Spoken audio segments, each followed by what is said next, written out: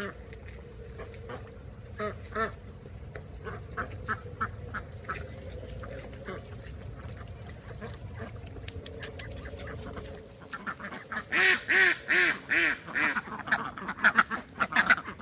now you're not running away, sticking close by me. What do you think you're gonna find in there? Dry food? You're not getting any till this afternoon. About you guys?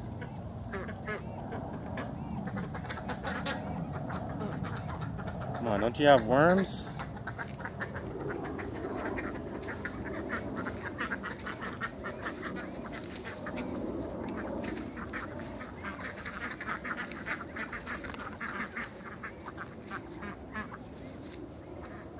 I guess it doesn't hurt to look. See if I left you any dry food.